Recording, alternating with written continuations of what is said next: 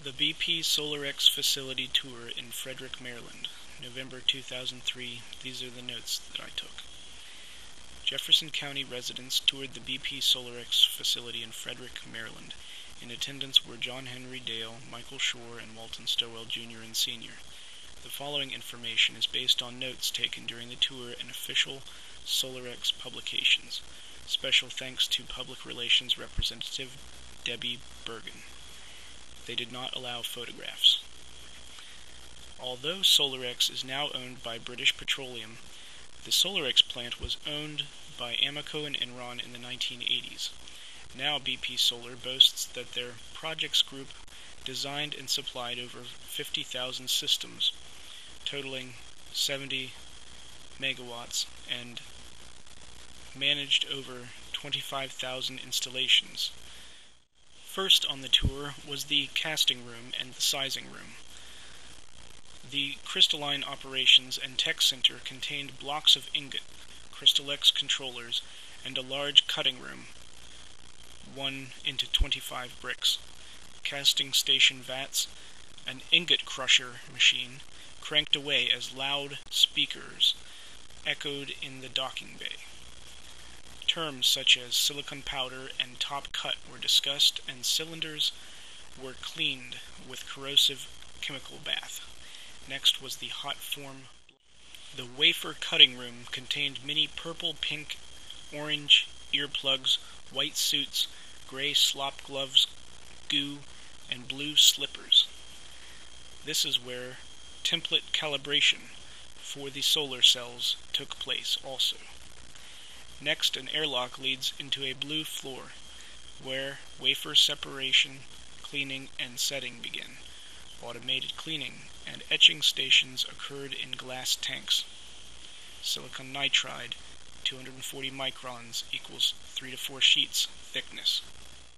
A violet dark blue wafer coating with silver paste was then baked in aluminum. These would go to a drying furnace in front and back lines with automated tooling systems. Multi and mono solar cells. Multi cells are darker, absorb more sun, and are more efficient. Silicon is dangerous. A large final room housed machine plates that mounted bar strips, bus bar, with tabbing ribbons and negative positive copper wire with silver coating. Then there were assembly soldering operations for the complete solar panels, which were then laminated, and cassettes were loaded into a matrix machine with roller knobs. Contained in soldered back matting is Dios wiring and label black caulking butyl. Current voltage testing, reading SPI Sun Simulator BP380U. The panels are cleaned, flashed, and boxed in argon at 23.8 degrees. NRE stands for National Renewable Energy. The cost of the solar system is directly proportional to how much energy you require. Small cabin systems start at a few thousand dollars. A large, typical household system could cost anywhere from ten thousand to forty thousand dollars. Clean power estimator equals evaluates and saved contact section to discuss design with a distributor. Array combo inverter utility kilowatts per hour meter. Currently prices are not economically feasible or comparable with power grid in most states. Some questions remain on my mind which I will ask them soon.